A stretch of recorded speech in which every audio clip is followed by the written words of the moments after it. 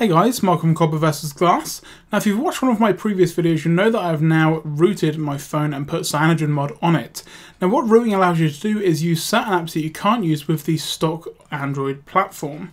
Now what I mean by that is there's an application called Screencast which is definitely really handy but you can't use unless you're rooted and that's what we're going to be looking at today.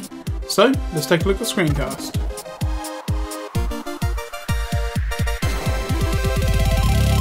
Now there's not really any settings to Screencast as such. If you click on the icon, it's going to just say to start recording your screen just to press start screencast. So that's what we're going to do now. And it's going to give you a notification at the top here that's saying that you are now recording your screen. Now the only options that you've got here are to stop recording and to show touches. Now what I mean by that is if you look over here at the diagram that I'm having, which mirrors exactly what I'm doing, you'll see there's a little white mark that goes across where my finger is on the screen. So that's the only thing really that you can turn on or off. Now one thing that I would say is this is really good in terms of showing off apps. Now I've done a review the other day on Yahoo News Digest and had I had Screencast installed at the time it would have given me a better platform to show you guys exactly how to use the app.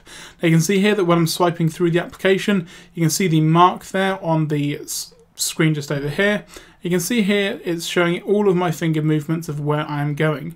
Another good thing that this is good for is if I want to show you guys a launcher, for instance I'm using a solo launcher, then again if I move through this application you can see here that it's picking up all of the marks that I am going to be using.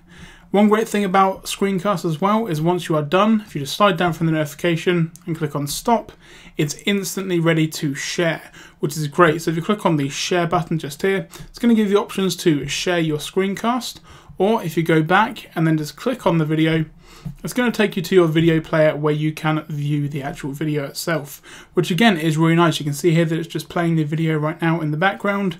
And like I say, overall it's a very clean very simple application to use. I've not had any problems. The frame rate is really good. And for a third party app that you need to be rooted for, that I've not had any problems with it at all, which is great.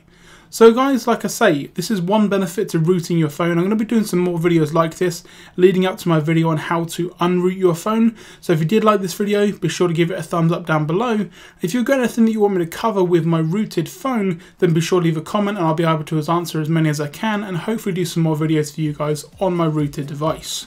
So, I'm Michael from Copper vs Glass. This has been a quick look at Screencast for Android and I will catch you guys in the next video.